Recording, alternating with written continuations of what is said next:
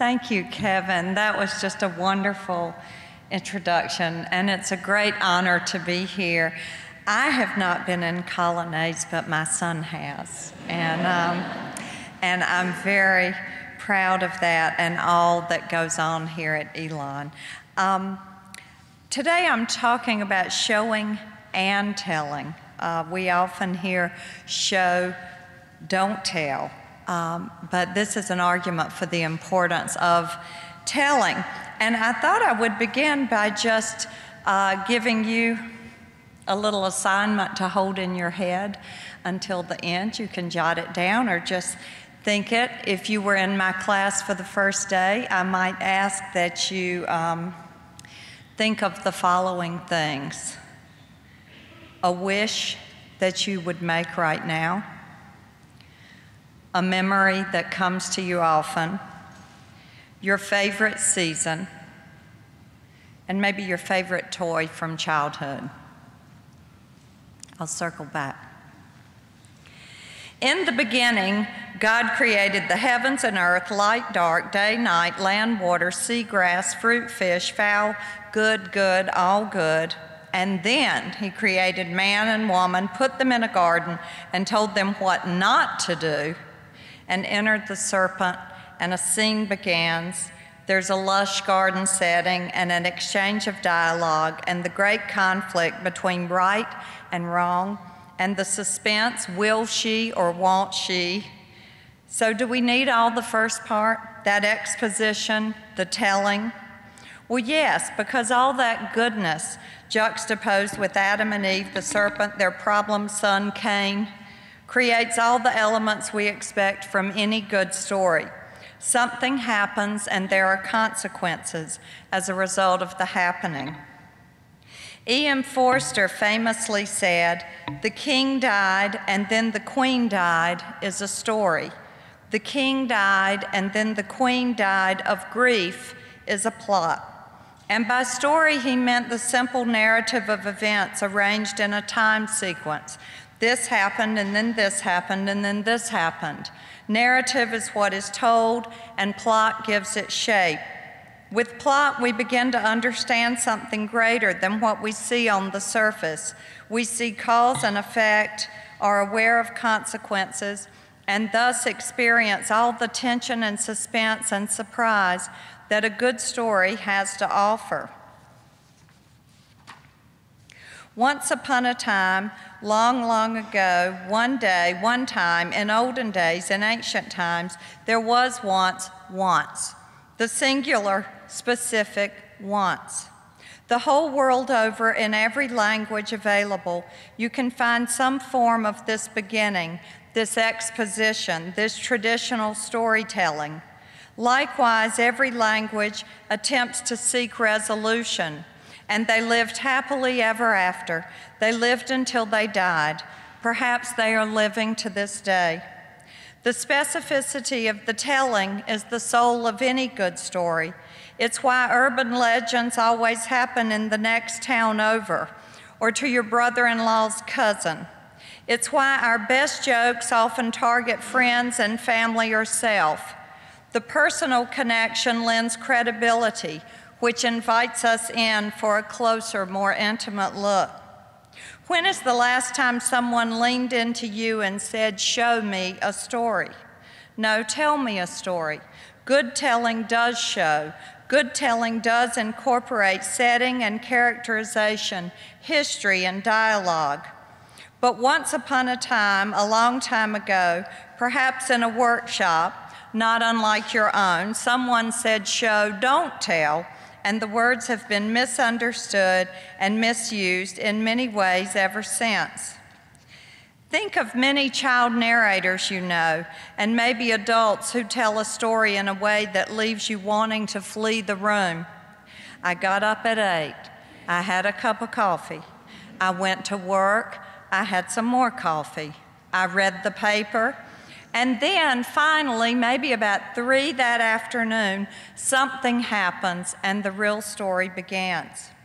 I had a professor who referred to this as the toothbrush or the alarm clock story, a kind of warming up to what is important. Sometimes you need it to get you where you, the writer, are going, even though you recognize that it isn't a part of the story at all.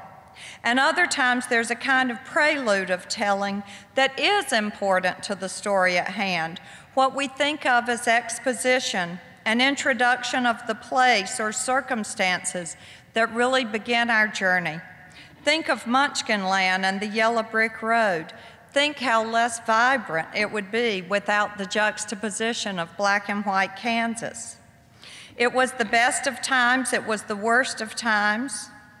He was an old man who fished alone in a skiff in the Gulf Stream, and he had gone 84 days without taking a fish. In my younger and more vulnerable years, my father gave me some advice that I've turned over in my mind ever since. One of my favorite examples of a beginning is Tillie Olsen's opening to Tell Me a Riddle. For 47 years, they had been married. How deep back the stubborn, gnarled roots of the quarrel reached, no one could say, but only now, when tending to the needs of others no longer shackled them together, the roots swelled up visible, split the earth between them, and the tearing shook even to the children long since grown. And with that knowledge, the story begins. Or think about Cinderella. Once upon a time, there was a girl named Cinderella. When she was young, she had a happy life. Then one day, her mother died. Soon after, Cinderella's father married a woman who had two daughters of her own. The stepmother and her daughters were not kind. And then there's a decree. She makes a wish. But where would we be emotionally without the information at the beginning? And likewise, aren't you glad you didn't have to go through the funeral of her mother and then the wedding to the stepmother? That's for Cinderella the novel or Cinderella the miniseries. Good stuff, but the focus of this one is really all about karma and wishing with a pure heart. And of course, if you're reading the Brothers Grimm, there's some pretty harsh justice served up at the end. One great example of telling that never made it into the work that I like to often use in my class is a favorite piece of writing. It's Tennessee Williams' directions for the designer of Cat on a Hot Tin Roof. And I'll just take a minute and, and read it. You're probably familiar with the play or the movie in some form or another, but this is what Williams wrote to the designer. Perhaps the style of the room is not what you would expect in the home of the Delta's biggest cotton planter. It is Victorian with a touch of the Far East. It hasn't changed much since it was occupied by the original owners of the place, Jack Straw and Peter Ochello, a pair of old bachelors who shared this room all their lives together. In other words, the room must evoke some ghosts. It is gently and poetically haunted by a relationship that must have involved a tenderness which was uncommon.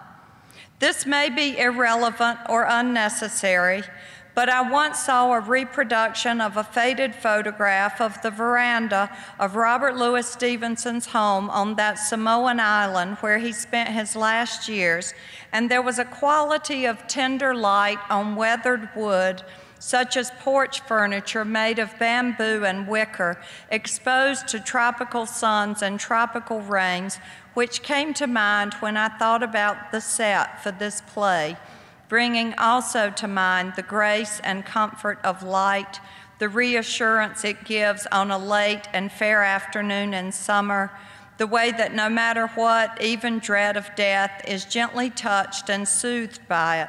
For the set is the background for a play that deals with human extremities of emotion, and it needs that softness behind it. You can imagine all of that being used if, if he had written the novel, there would have been that exposition of the history of this place. Um, the difficult leap to then design a set that would bring in the ghosts. But that's the kind of telling a student asked earlier today about backstory. And um, we talked about how a lot of times you need to know far more than ever makes it onto the page because what you know of history and all that goes behind a character's life or a situation automatically comes into play as the story goes on. We live here in the South. I won't say it's strictly limited to Southerners, but I think, how many of you grew up in the South? A lot, a lot. So, those of you who did not, by now you would have heard someone tell a story kind of like this, or maybe someone in your own family has done it. Uh, I like to pick on my mother, who often um, would call with, uh, should say, Oh, you'll never believe what happened to poor Becky Miller. There's the hook. But first, now you remember that um, her daddy was the one, you know, he owned that hardware store that used to be over where the where uh, the mall is now. But anyway, way back, he owned his hardware store. It was over there, and um, his hardware store burned down that summer. We were having that awful drought it was the one time I thought I might get invited to be in the garden club. Everything was looking great. Then it all dried up. The phone never rang. But anyway, everybody thought that maybe his business, you know, maybe he burned it down himself. What with the way that he really had not been right since his wife, not Becky's mama, she died of pancreatic cancer several years before. But the second wife went to visit her uncle over at the VA hospital in Fayetteville, met that pharmaceutical salesman, and was never heard from again. My dad spent maybe the last 30 years of his life doing things like this.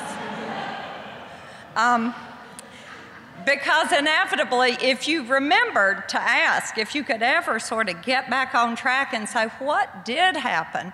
It would be something like, well, she got a flat tire out on the interstate, and it took AAA three hours to come. Um, so that's a series of events, you know. Becky's on her car on the interstate, gets a flat tire, takes forever for AAA to get there. It's a story we've all heard many times. You see it, you witness it every day as you're traveling. But what brings, she brought in with all the backstory and the history and the local color and the lore. That's all the kind of stuff, some of it throw away for sure. My dad would say all of it throw away, but, but some of it throw away. Um, but it's also what claims it as something unique to a specific individual.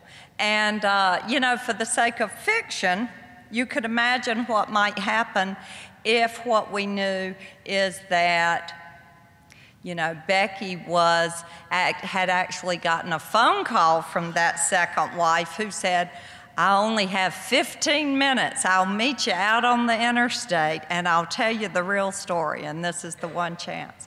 Um, there are all kinds of ways you could spin it, but I like that meandering story method. I like what it brings onto the page. And talking earlier about just writing that first draft, it's a great act of freedom to just let it all blow in and then decide where it goes because it's always surprising what little facts and bits and pieces of detail might indeed be significant to your story. So I'm now going to read you a little essay that I wrote with this whole notion of showing and telling in mind. And um, because my um, son was a student here and loved it very, very much and has missed it. I, I decided to feature him in this essay. I did get his permission. um, it's called Big Little.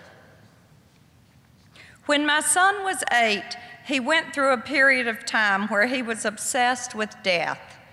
He referred to it as my fear and often had trouble sleeping. My dad had died just before Rob turned two, and so his memories of that time would have been very limited. However, with the desire for my children to know who my dad was, I talked about him often and told stories about their interactions with him.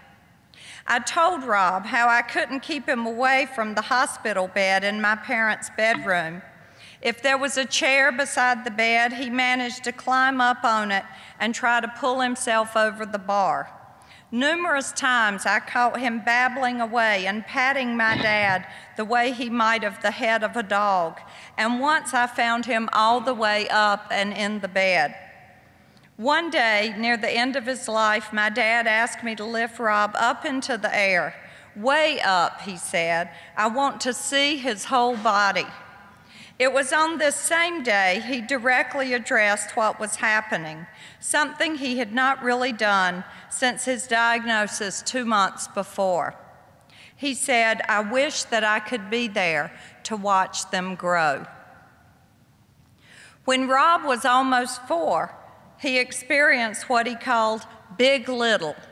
I'm not entirely sure what exactly was going on, I just knew that I felt closer to my dad during that time than I had since he was alive because Rob had come home from preschool and told me that he had seen my dad at his school. When questioned, he told me that he came every day when they were on the playground. I said, Oh, I would love to see him. And Rob said, I can take you, but I have to drive. I've often thought that his desire to drive me where he wanted me to go is not unlike what we try to do on the page as we shape our visions and images, our stories, in a way we hope will translate for others and have the power to take them there. One night, he called me into his room to tell me that Big Little was happening again. I asked what this meant.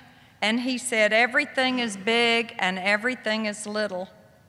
Worried that something might be going on with his vision, I asked that he close his eyes, relax.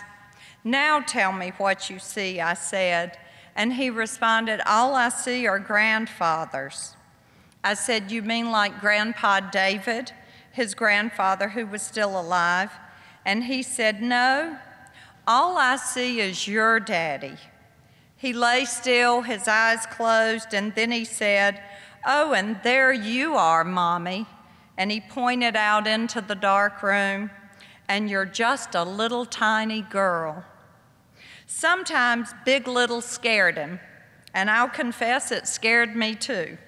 But I also found it very comforting this thought that maybe, in some way, my dad's wish had come true and he indeed was watching. Big Little is now a story I like to tell when people are talking about what I like to call woo woo experiences. Those times when they feel connected with something or someone beyond the realm of their own present lives. And again, isn't this what literature successfully does for us? We see everything unfold on that personal movie screen we have in our minds, the same screen used for childhood make believe, fantasies, and wishes, and by way of that, we also experience it. How many times have you climbed up on that stage to rewind something that just happened?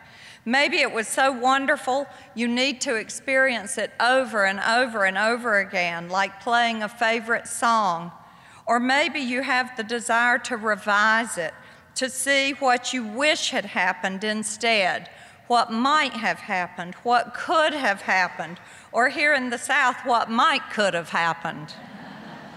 I'm not entirely sure what accounted for the fear to begin four years post Big Little it was before his other grandfather died.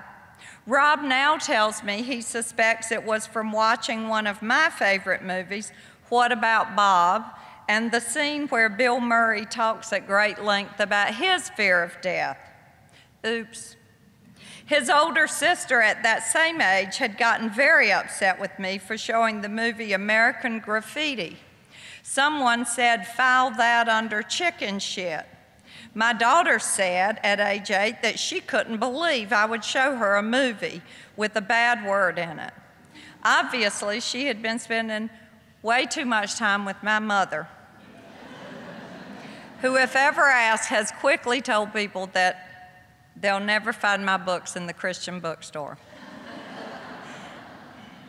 but of course, this was an opinion that blew in and then blew out as quickly as a summer storm as her wish, just as her wish for those turquoise leopard pants that to my mind never made it out of the closet. And I reminded her of it often when I asked her what I had just heard on the CD she was playing. But whatever kicked the fear into play was vivid and all powerful. It was not the standard childhood phase that rolled out as quickly as it rolled in. The fear continued and persisted in such a way that it seemed like getting a little help from an outside source would be a good thing. At the time, my son was also obsessed with Pokemon, the Red Sox, boycotting Hebrew school, and shooting basketball, which he would do for hours at the time. There was a freestanding Fisher Price goal in the doctor's office, and I remember sitting in the waiting room and hearing the thump, thump, thump the whole 50 minutes he was in there. On the way home, the talk was mostly about basketball. I heard how many times he got it in and how many times the doctor did not. I like him a lot, he told me, but he's not a very good shot. What I learned later, of course, was that a whole lot was being discussed in between shots. For instance, I learned that at one session, when asked what he would wish if given three wishes, his first wish was to live the normal, a normal life plus 100 years. His second wish was that everyone he loved could live a normal life plus 100 years. And his third wish was for a papillon, we already had a big, sweet Labrador retriever and a watchful Sheltie, but it seemed in light of the fear that this last wish that could come true maybe should. Where is all of this going? I'm telling a story, and it's connected to the topic I was asked to give show and tell. I've told the background of a particular time, and now I'll show the outcome. A kid in baggy jeans and Red Sox jersey walks into a pet store where there are a lot of dogs waiting for the right home. There's a ponytailed woman in black stretch pants and a professional looking white smock running the place, and she overhears the boy express a wish for a papillon. The boy and his sister are running from cage to cage, falling in love with first one puppy and then another. The sister loves and wants them all, already thinking of names, but the boy has his heart set on this very particular kind. A papillon, if you don't know, is a teeny tiny thing with great big ears that, when up, look like a butterfly landed on the head of a chihuahua. I had already called a few breeders only to learn that these delicate creatures, aside from being quite pricey, are more likely to be placed in homes without existing larger dogs and children running in and out all day. There's a papillon, the boy says, and points at a little black fur ball in the corner of a pen. The woman immediately swoops over and informs him that he is exactly right. Not full blooded, she says, and with her hands on his shoulders, gently pushes the boy closer to the cedar shaving covered pen. But there is definitely some papillon in there. Everyone over the age of 11, his sister's age, knows that this is not true, but is willing to let imagination and wish fulfillment take over at this point. Wasn't it enough to believe? Like Dumbo with his feather that he thought allowed him to fly, or Peter Pan with his fairy dust. His name is Buster, the sister says, Buddy Buster, named for an earlier dog who had to find a new home because he hated all children except for the two he had lived with. The mother utters the wish that this one will not be a nipper. She writes a check and they go home, and that is the short version story of a boy and his dog. Buster has been determined as a Shih-Poo, Shih Tzu and Poodle blend, and he's a scruffy little 12 pound dust mop who thinks he's much bigger than he is. His ears do not stand up high like a butterfly, but flop down like his Beatle style haircut and Dr. Seuss looking tail. Still, we call him our Papillon and have for 14 years now. If you came into our house, you would see this elderly little guy with gray goatee and a blue argyle sweater in the winter, curled on a blanket and snoring like a truck driver. He's deaf except for the highest pitched whistles, and his vision is fading fast. You would see him there, little old dog sleeping, and I could point and say, There's Buster. Without the telling of his story, you might, he might only serve as part of the setting, a snoring sound effect or comic relief when you touch him and he startles out of a deep, deaf sleep. And in the present moment, he's all of those things. But it's difficult to see just that if you also know that he has the history of getting an eight year old boy over the fear of death that kept him awake many, many nights. He's a symbol of long life and wishing good things for those you love. He is that universal wish for immortality. He is a wish that came true.